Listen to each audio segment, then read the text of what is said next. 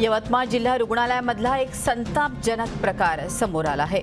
रुग्णालयाच्या आवारात एका अर्भकाचं मोकाट कुत्र्यांनी लचके तोडले आहेत. एक ते दोन दिवसांची ही मुलगी होती.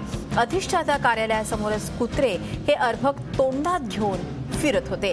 मात्र रुग्णालय व्यवस्थापन डॉक्टर कर्मचारी यांना त्याचं काहीही धे- देणं घेणं नसल्याचं दिसलं.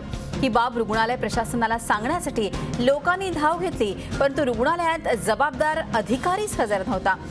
जे होते त्यांनी नेहमीचाच प्रकार असल्याचं म्हणत या प्रकाराकडे साफ डोळेझाक केली.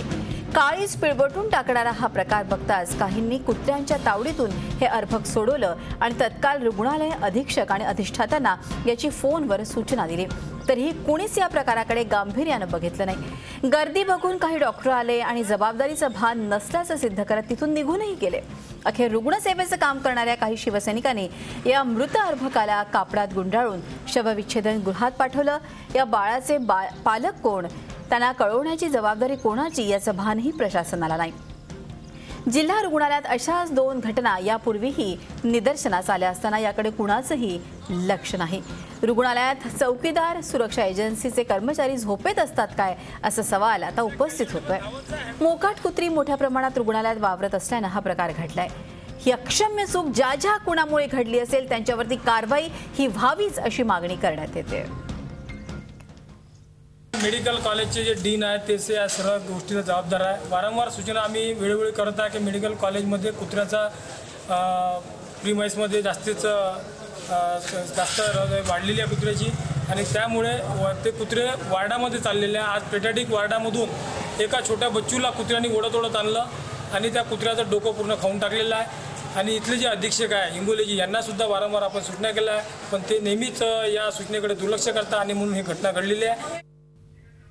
एकूणच या संदर्भात अधिक चर्चा करूयात. यवतमाळहून श्रीकांत राऊत आपल्याबरोबर आहे श्रीकांत माणुसकीला काळीमा फासणारी घटना आहे. खरोखरच लोकांची भावना इतक्या बोथट झाल्या आहेत का असंच म्हणावंसं वाटेल. एकूणच या घटनेविषयी थोडं अधिक सांगा. मृदुला नक्कीच अतिशय संतापजनक हा प्रकार आहे आणि रुग्णालय प्रशासनाची बेपरवाही यामुळे पुन्हा एकदा चव्हाट्यावर आलेली आहे. यापूर्वी देखील दोन ते तीन वेळा असा प्रकार घडला होता आणि वारंवार रुग्णालय प्रशासन याकडे दुर्लक्ष करतं. कालचा प्रकार हा उघडकीस आल्यानंतर रुग्णालय प्रशासनाने मोकाट कुत्र्यांबद्दल विचारलं असं त्यांनी नगर परिषदेकडे बोट दाखवलं. एकूणच ही जी टोलवाटोली रुग्णालय प्रशासनाची चालते तेव्हा कुठेतरी असं वाटते की त्यांनी संवेदना हरवलेल्या आहेत. खरोखर संवेदना हरवलेल्या आहेत. असेच काहीशी गोष्ट इथे आपल्याला दिसते. धन्यवाद श्रीकांत ही माहिती दिल्याबद्दल. श्रीकांत राऊत यवतमाळहून आपल्याला माहिती देत होते. तर हे झी मीडियाचे एक्सक्लुझिव्ह दृश्य आपण बघू शकतो. मात्र एक्सक्लुझिव्ह असले तरी अत्यंत दुर्दैवी असे हे दृश्य आहेत. आपण ज्या तऱ्हेनं एक छोटंसं बाळ छोटंसं अर्भक दोन दिवसांचं कुत्रे त्याचे लचके तोडतायत आणि तिथे रुग्णालयामध्ये जाणारे नर्सेस असो डॉक्टर्स असो कुठल्या कुठल्या कोणालाही याचं भान आहे.